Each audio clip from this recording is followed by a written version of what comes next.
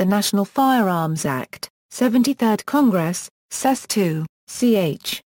757, 48 Stat 1236, enacted on June 26, 1934, currently codified as amended as IRCCH. 53, is an act of Congress in the United States that, in general, imposes a statutory excise tax on the manufacture and transfer of certain firearms and mandates the registration of those firearms. The act was passed shortly after the repeal of Prohibition. The NFA is also referred to as Title II of the federal firearms laws. The Gun Control Act of 1968 is Title I. All transfers of ownership of registered NFA firearms must be done through the federal NFA registry. The NFA also requires that permanent transport of NFA firearms across state lines by the owner must be reported to the Bureau of Alcohol, Tobacco, Firearms and Explosives. Temporary transport of some items, most notably silencers, do not need to be reported. Background The impetus for the National Firearms Act of 1934 was the gangland crime of the Prohibition era, such as the St. Valentin Euro unregistered trademark Estee massacre of 1929, and the attempted assassination of President Franklin D. Roosevelt in 1933. Like the current National Firearms Act, the 1934 Act required NFA firearms to be registered and taxed. The $200 tax was quite prohibitive at the time. With a few exceptions, the tax amount is unchanged. Originally, pistols and revolvers were to be regulated as strictly as machine guns. Towards that end, cutting down a rifle or shotgun to circumvent the handgun restrictions by making a concealable weapon was taxed as strictly as a machine gun. Conventional pistols and revolvers were ultimately excluded from the Act before passage, but other concealable weapons were not. Regarding the definition of firearm, the language of the statute as originally enacted was as follows. The term firearm means a shotgun or rifle having a barrel of less than 18 inches in length, or any other weapon, except a pistol or revolver, from which a shot is discharged by an explosive if such weapon is capable of being concealed on the person, or a machine gun, and includes a muffler or silencer for any firearm whether or not such firearm is included within the foregoing definition. Under the original Act, NFA weapons were machine guns, short-barreled rifles, short-barreled shotguns, any other weapons, and silencers for any type of NFA or non-NFA. Minimum barrel length was soon amended to 16 inches for rimfire rifles and by 1960 had been amended to 16 inches for centerfire rifles as well. The United States Supreme Court, in 1968 decided the case of Haynes v. United States in favor of the defendant, which effectively gutted the National Act of 1934. As one could possess an NFA firearm and choose not to register it, and not face prosecution due to Fifth Amendment protections, the act was unenforceable. To deal with this, Congress rewrote the act to make registration of existing weapons impossible except by the government.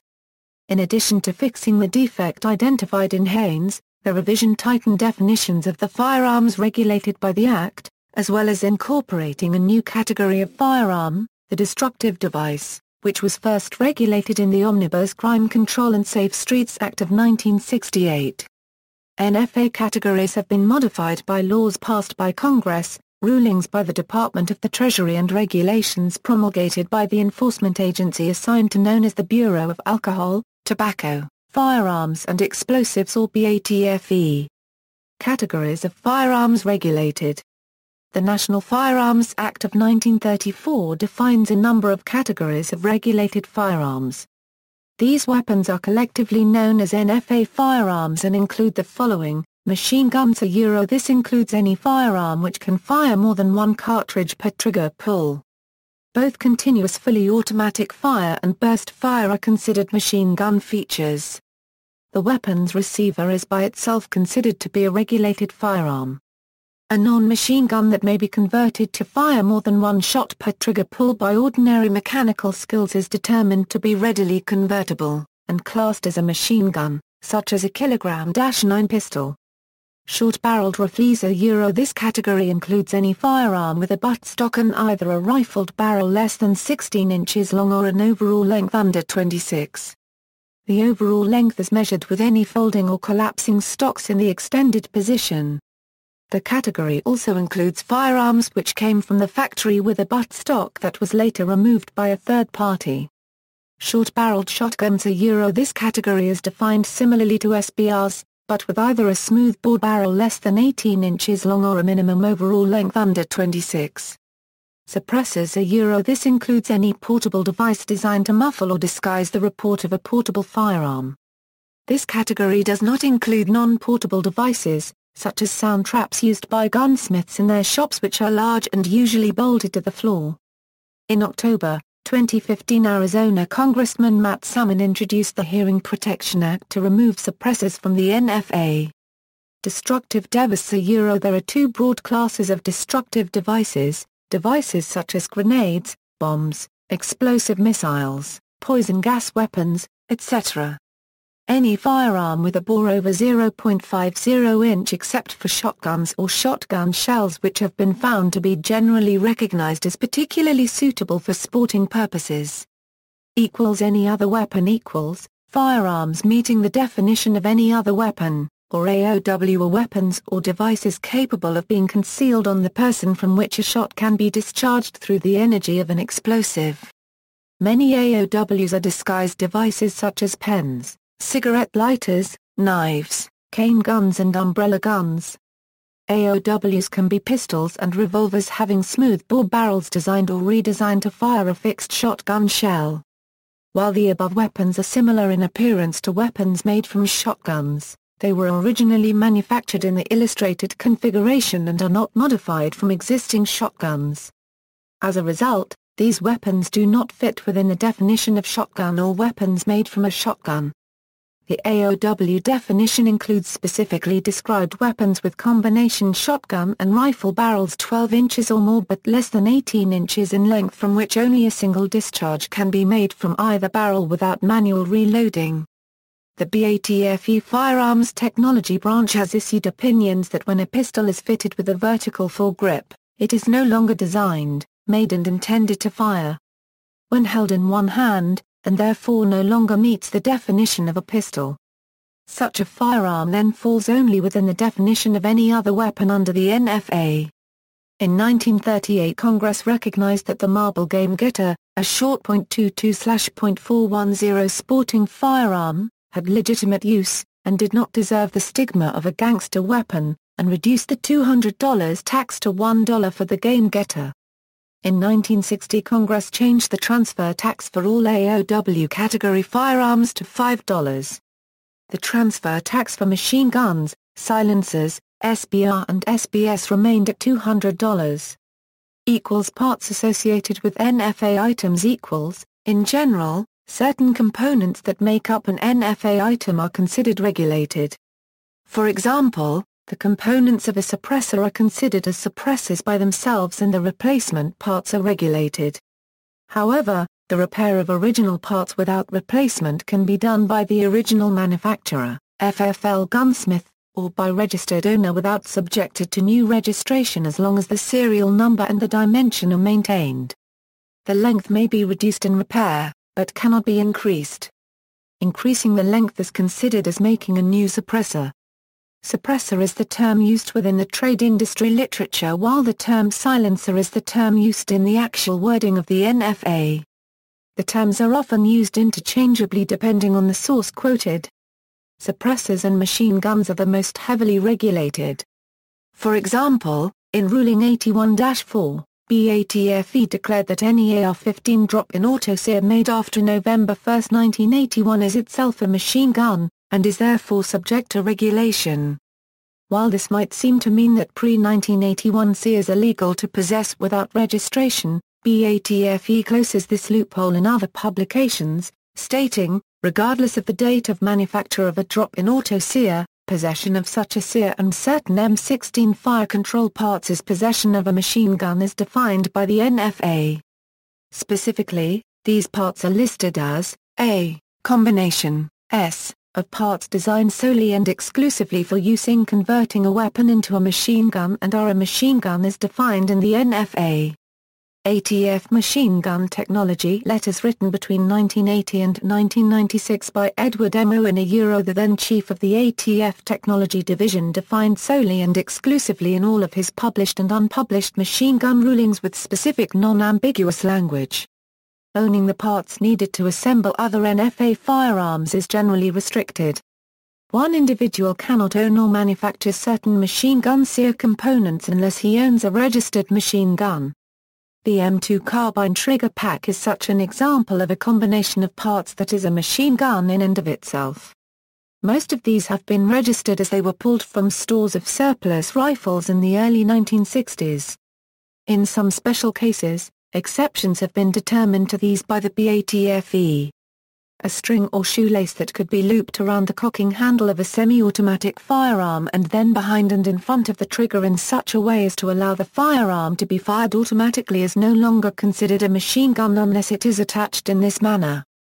Most current fully automatic trigger groups will not fit their semi-automatic firearm look-alike counterparts a Euro the semi-automatic version is specifically constructed to reject the fully automatic trigger group by adding metal in critical places. This addition is required by the ATF to prevent easy conversion of Title I firearms into machine guns. For civilian possession, all machine guns must have been manufactured and registered with the ATF prior to May 19, 1986 to be transferable between citizens. These machine gun prices have drastically escalated in value, especially items like registered sears and conversion kits. Only a Class II manufacturer could manufacture machine guns after that date, and they can only be sold to government, law enforcement, and military entities. Transfer can only be done to other SOT FFL holders, and such FFL holders must have a demonstration letter from a respective government agency to receive such machine guns. Falsification and or misuse of the demo letter process can and has resulted in long jail sentences and felony convictions for violators. Owning both a short barrel and a legal length rifle could be construed as intent to build an illegal, unregistered SBR.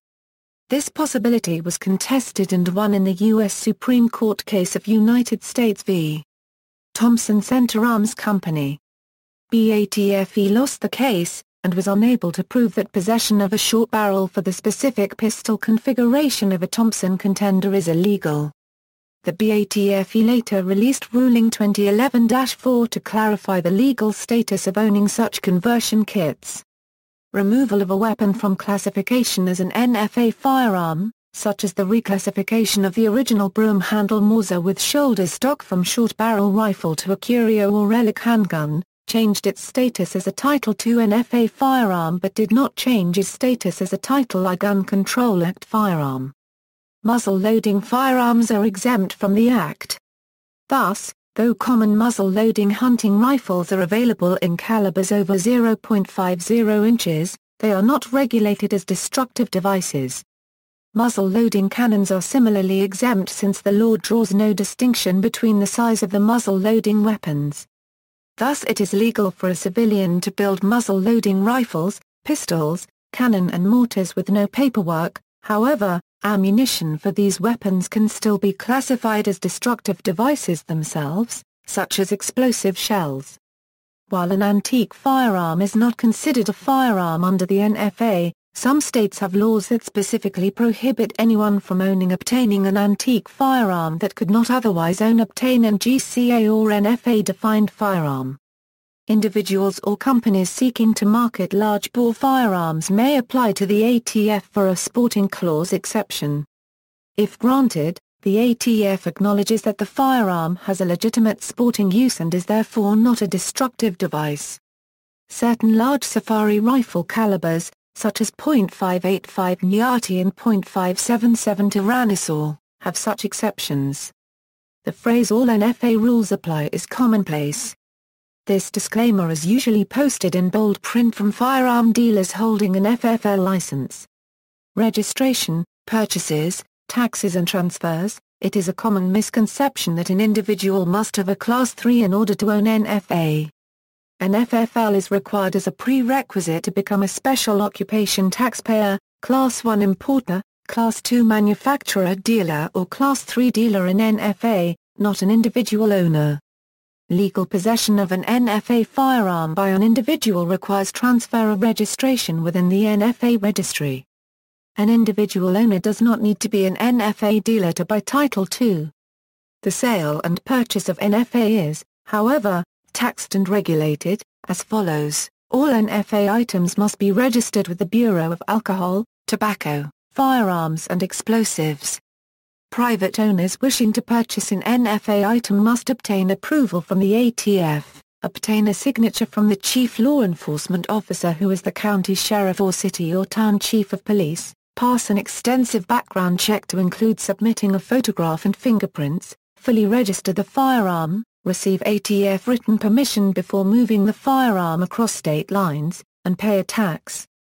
The request to transfer ownership of an NFA item is made on an ATF Form 4.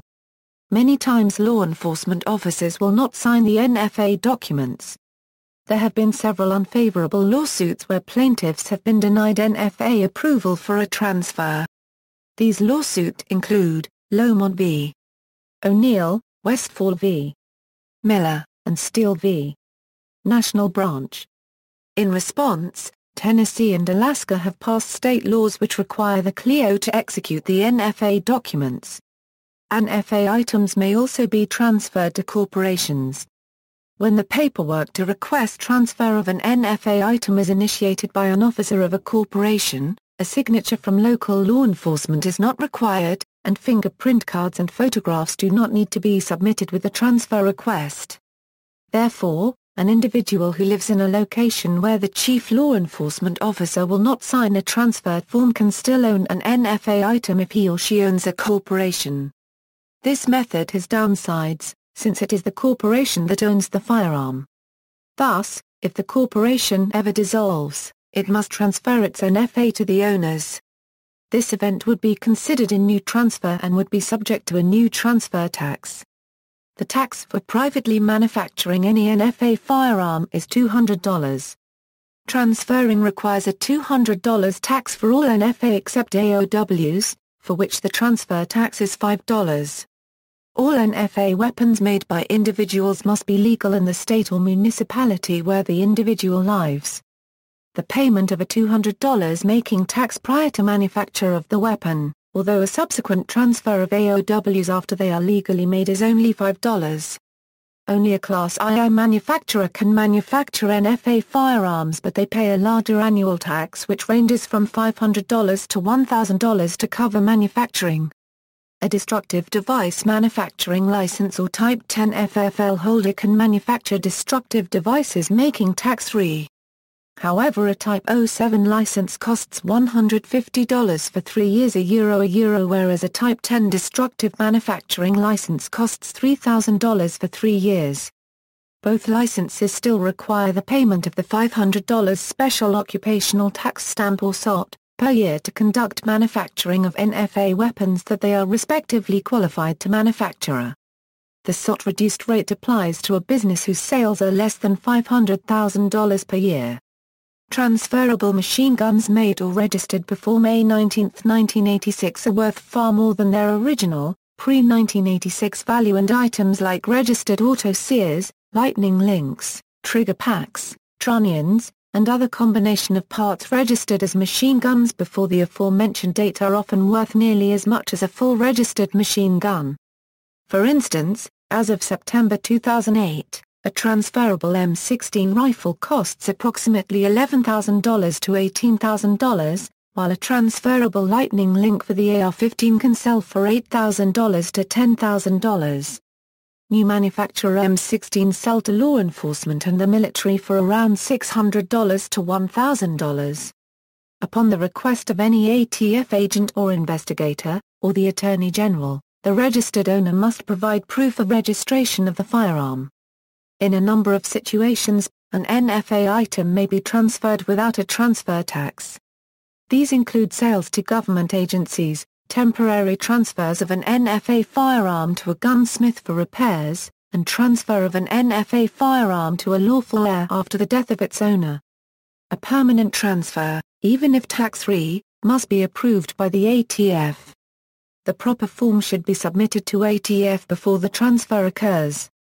For example, lawful heirs must submit a Form 5 and wait for approval before taking possession of any NFA item willed to them. Temporary transfers, such as those to a gunsmith or to the original manufacturer for repair, are not subject to ATF approval since they are not legally considered transfers. The ATF does, however, recommend filing tax-free transfer paperwork on all such temporary transfers, to confer an extra layer of legal protection on both the owner and the gunsmith. Criminal conduct The Act makes certain conduct a criminal offense, in relation to engaging in business as a manufacturer, importer, or dealer with respect to firearms without having registered or paid a special occupational tax. Receiving or possessing a firearm transferred to oneself in violation of the NFA. Receiving or possessing a firearm made in violation of the NFA receiving or possessing a firearm not registered to oneself in the National Firearms Registration and Transfer Record. Transferring or making a firearm in violation of the NFA. Or obliterating, removing, changing, or altering the serial number of the firearm. Criminal penalties Violations of the Act are punishable by up to 10 years in federal prison and forfeiture of all devices or firearms in violation, and the individual's right to own or possess firearms in the future. The Act provides for a penalty of $10,000 for certain violations. A willful attempt to evade or defeat a tax imposed by the Act is a felony punishable by up to five years in prison and a $100,000 fine, under the General Tax Evasion Statute. For an individual, the felony fine of $100,000 for tax evasion could be increased to $250,000. Exceptions The United States Supreme Court has ruled in Haynes v. United States that the Fifth Amendment to the United States Constitution exempts felons a euro, and, by extrapolation, all other prohibited possessions a euro from the registration requirements of the Act. However, the prohibited person can still be charged under the Gun Control Act of 1968 for being a prohibited person in possession of a firearm. The Atomic Energy Act of 1954 was amended in 2005 and includes a provision to allow Nuclear Regulatory Commission licensees and authorized contractors to possess machine guns for the purpose of providing security. The market for NFA items, importation of NFA firearms was banned by the 1968 Gun Control Act which implemented a sporting clause. Only firearms judged by ATF to have feasible sporting applications can be imported for civilian use. Licensed manufacturers of NFA firearms may still, with the proper paperwork, import foreign NFA firearms for research and development purposes, or for government use. The domestic manufacture of new machine guns that civilians could purchase was effectively banned by language in the Firearm Owners Protection Act of 1986. The language was added in an amendment from William J. Hughes and referred to as the Hughes Amendment. Machine guns legally registered prior to the date of enactment are still legal for possession by and transfer among civilians where permitted by state law. The static and relatively small number of transferable machine guns has caused their price to rise, often over $10,000, although transferable MAC-10 and MAC-11 submachine guns can still be purchased for around $3,500. Machine guns manufactured after the FOPA's enactment can be sold only to law enforcement and government agencies, exported, or held as inventory or dealer samples by licensed manufacturers and dealers. Machine guns made after 1986 for law enforcement but not transferable to civilian registration are usually priced only a few hundred dollars more than their semi-automatic counterparts, whereas a pre-Hughes Amendment registered machine gun that can be legally transferred commands a huge premium. The Hughes Amendment affected only machine guns. All other NFA firearms are still legal for manufacture and registration by civilians under Form 1, and transfer of registration to civilians under Form 4. Suppressors and short-barreled rifles are generally the most popular NFA firearms among civilians, followed by short-barrel shotguns, destructive devices, and any other weapons. While most NFA firearms are bought from manufacturers and transferred to civilians through a dealer, Many are made by the civilians themselves after filing a Form 1 and paying the $200 manufacturing tax. In some cases the manufacture is simple, and sometimes quite complex. NFA Trust A NFA Trust is a legal trust that is used in the United States to register and own NFA firearms. A NFA trust allows prospective purchasers of NFA items to avoid some of the federal transfer requirements that would otherwise be imposed on an individual. Miller case, in 1938, the United States District Court for the Western District of Arkansas ruled the statute unconstitutional in United States v. Miller. The defendant Miller had been arrested for possession of an unregistered short double-barreled shotgun, and for unlawfully transporting, it in interstate commerce from Claremore, Oklahoma to Siloam Springs, Arkansas, which perfected the crime. The government's argument was that the short-barreled shotgun was not a military-type weapon and thus not a militia weapon protected by the Second Amendment, from federal infringement. The district court agreed with Miller's argument that the shotgun was legal under the Second Amendment. The district court ruling was overturned on a direct appeal to the United States Supreme Court. No brief was filed on behalf of the defendants, and the defendants themselves did not appear before the Supreme Court. Miller himself had been murdered one month prior to the Supreme Court's decision. No evidence that such a firearm was ordinary military equipment had been presented at the trial court, although two Supreme Court justices at the time had been United States Army officers during World War I and may have had personal knowledge of the use of such weapons in combat the Supreme Court indicated it could not take judicial notice of such a contention. The Supreme Court reversed the district court and held that the NFA provision was not violative of the Second Amendment's restriction and therefore was not unconstitutional. Subsequent rulings have been allowed to stand, indicating that short-barreled shotguns are generally recognized as ordinary military equipment if briefs are filed, describing use of short-barreled shotguns in specialized military units equals uncertainty after Miller and after passage of Montana House Bill 246 equals, the scope of the application of the Act to privately constructed firearms or devices is uncertain. Such items would normally be regulated under the Act's provisions, but are intended for private ownership only and not for sale. As the Act's application is derived from the federal legislature's constitutionally enumerated power of regulation over interstate commerce, it is unclear how privately constructed firearms or devices built solely for personal possession are affected by the Act. It would seem they are regulated under the Supreme Court's interpretation of Wickard v. Filburn which establishes that even activities that occur solely intrastate could have such a substantial effect upon interstate commerce that failure to regulate such commerce would defeat Congress's power to regulate interstate commerce.